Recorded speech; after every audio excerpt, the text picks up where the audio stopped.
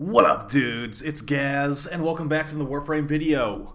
So today, we're be doing a newer player-focused video. It's also be a live commentary. It will be a tutorial on how to do Kuva Floods and Kuva Siphon missions in the current year 2022, just in case you've never known how to do these before. And these missions I'm talking about are the ones that are on your star chart after you've beaten the War Within story quest. You can go to your alerts button right here, and these are listed. You could technically just go find them on the uh, on the star chart, but the way you can tell where these Kuva missions will be is you want to be looking for this Kuva Fortress node right here. Whatever planet it's next to are the planets the Kuva missions will be on. So if we zoom in on the Kuva Fortress, where it's next to uh, Phobos and Eris, so it will be on some planet around here. So let's just click on Phobos, and as you can see, we've got the the three Kuva peppers on this spy mission, and we've got the singular Kuva peppers on the exterminate and a couple other missions too. So basically, when you see a singular Kuva pepper, that means the it's a Kuva siphon that you'll get about 600 Kuva without an, uh,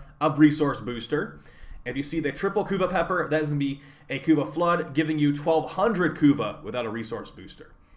Resource boosters, the orange ones that you can buy from the the market and all that, that gives you double the resources. It does give you double the amount of Kuva from these extractors. So we're going to show you how you do this because I've seen plenty of people MR20 plus still not know how to do this. So I'm also going to give you some build recommendations as well.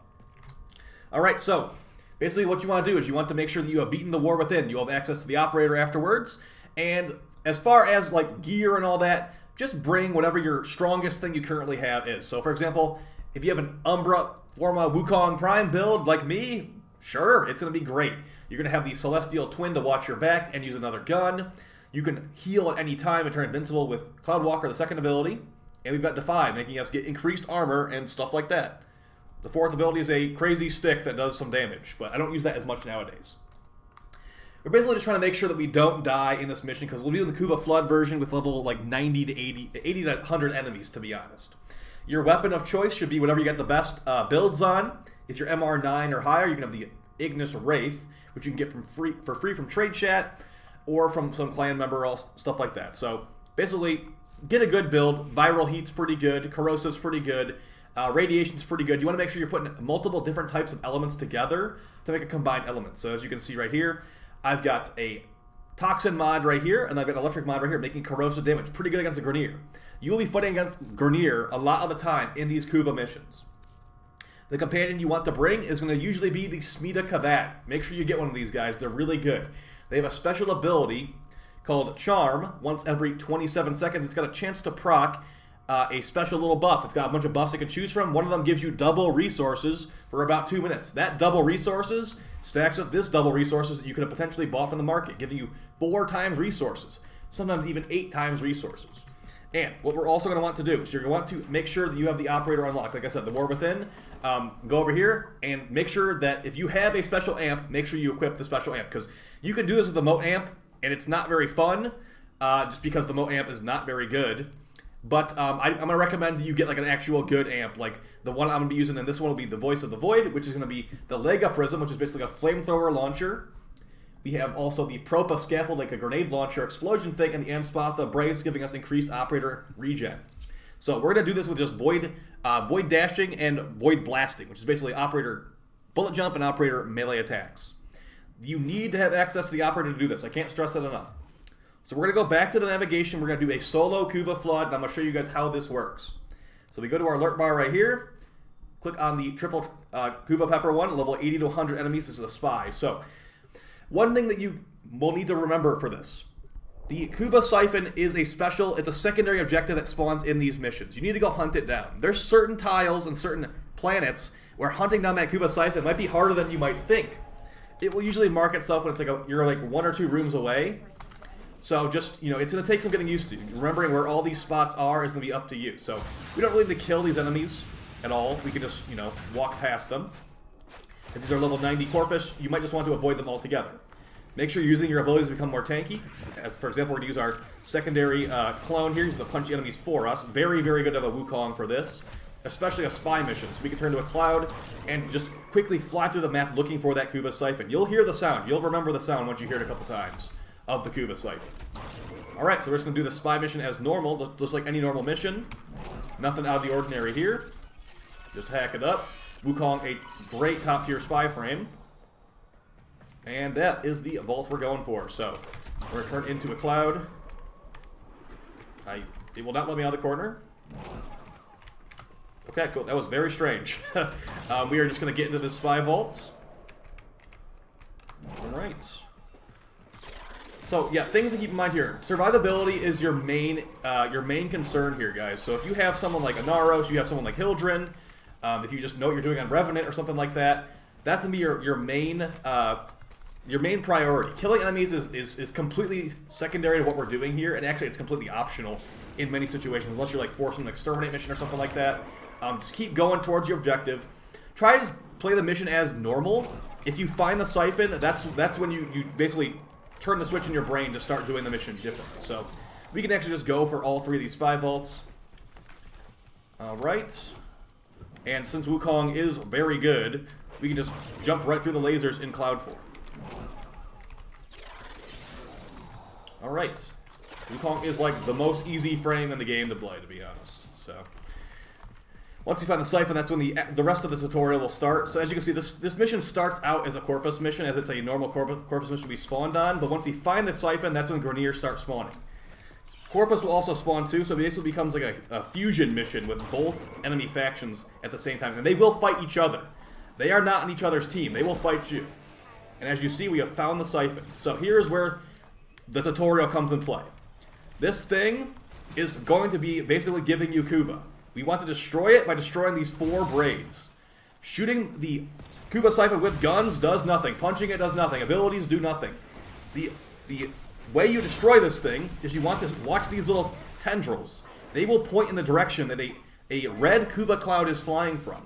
What you want to do as a player, get into your operator form and watch where the tentacle is pointing. It's pointing over there. We're going to go this way. We're going to void dash over here, and we're looking for the Kuva cloud. It might be kind of hard to see for some people, but it's right there, faintly. And what you want to do is void dash through it, or use the operator melee. That will also do some void damage to destroy that Kuva cloud that's flying towards it. Now if we look at the Siphon again, that tendril that was pointing that direction is now destroyed. We are one quarter of the way through getting our Kuva out of this Siphon. These guys right here, you might remember them from the story mode. You want to disarm them, and you want to take their, their Keshegs away, their, their weapons, to actually destroy, uh, and to kill them afterwards. You cannot kill them unless they drop their Kesheg on the ground. Alright, so it looks like we killed one there without even trying to. This this tendril was pointing that direction. The Kuva died because I void blasted to disarm the Guardian. It's very quite, it, it's actually quite easy once you have some good gear. Like I said, survival is your main issue here. You might want to play Limbo and go into the Rift, become invincible while on the Rift. Let's look for this third one. This is where having a good operator amp is very helpful, as we can basically just use our flamethrower and kill the Kuva Cloud, not even knowing exactly where it is.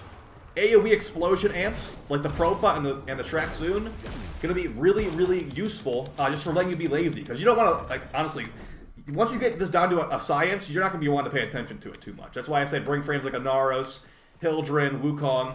So now that we know that all three of the tendrils are gone besides this last fourth one, we're going to look in that direction and just predict it. So I'm actually going to let this one fly into the siphon just so you can see how that works. So we know that we could easily destroy this one, but we're going to let it fly into there. So the cloud's right there, very hard to see.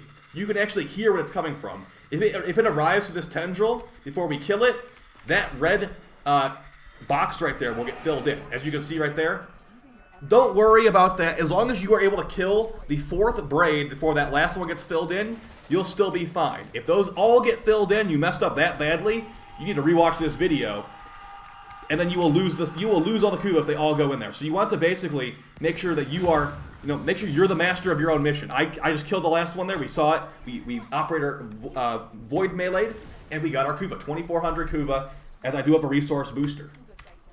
And that's it, guys. As you can see, the Grineer just disappeared. That guy's still around. But the, the big chonker Grineer, the uh, Kuva Guardians, they have despawned. Those guys are annoying. They will despawn after you kill the Siphon. And yeah, you, now that we've done this, we get a guaranteed Requiem Relic. The Kuva Siphons, the singular uh, Kuva Pepper, like level 30 missions, have a 50%, 50% chance to drop a Requiem Relic.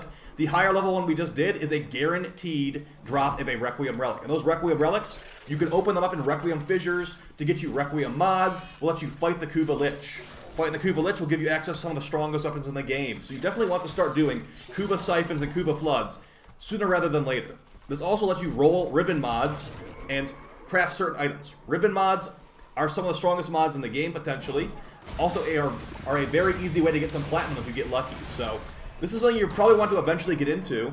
Um, and yeah, just basically the, the, the real basics of it, guys. You want to just make sure that you watch that braid. If it's coming from the left, get ready to shoot at the left. If it's coming from the right, get ready to void dash on the right and void melee on the right. That's all it is. No guns. You could do the entire thing with no guns. You could literally not kill a single enemy in that entire mission, and you're still going to get as much Kuva as the guy that was killing everyone. So that's basically the tutorial. Um, if you have any questions or anything like that, let me know in the comments down below. I'm gonna try to do some more like newer player focused videos going forward. Not all the time, but just sometimes. Um, and I know a lot of the gear that I was using here was for higher level players. It's just stuff you can work towards, guys. Wukong Prime is a great frame you can get from uh, like trade chat and stuff. You can get normal Wukong, the, the normal version of what I'm running. You can get this as a low MR player in your clan dojo for free. Wukong normal comes from your clan dojo. Doesn't require any like fancy builds or anything like that. Just put duration on there and you're fine. The uh, if you're doing the story quest, the Nataruk that you get from the story quest will be fine for this. The Broken War is probably would have been better than the, the melee I had equipped there, to be honest. This thing is highly slash focused. Story weapons you can get through these Kuva Floods with, guys. It's all just knowing what to do, knowing how to use your operator properly, and you know executing on it. So, if you have any suggestions or ideas of build uh, build videos and like build guides and gameplay guides for these types of uh, topics, let me know down below as well, guys. And thank you so much for the support. Take it easy. Peace.